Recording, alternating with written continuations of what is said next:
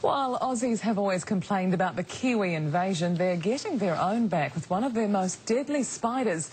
New research shows redback spiders are not only here in greater numbers, but they could also breed in new areas of New Zealand. Tom McRae with the details. Small, docile, but deadly. It's excruciatingly painful venom.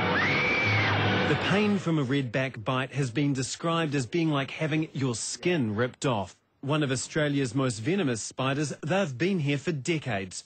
But new research is showing there's more of them, and they're being found in more places.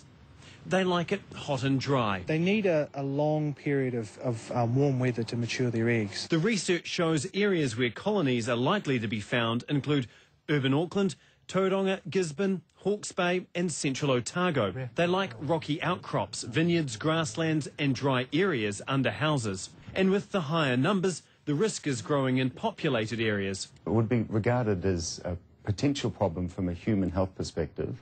And they're also a threat to our native animal and insect species. That could be a problem in central Otago where they're feeding on endangered beetles, um, possibly even skinks. The spiders hitch across the Tasman in shipping containers. We've got a great deal of awareness at the border about where they might be and how they might get in, but of course it's difficult to get every single one.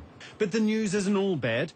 No one has been killed in over 50 years by a redback in Australia since anti-venom has been available. But the female will stay in her web for her entire life. Um, you really have to work hard to try and sort of come in contact with these things. If you do see one, get in contact with MAF. Tom McRae, One News.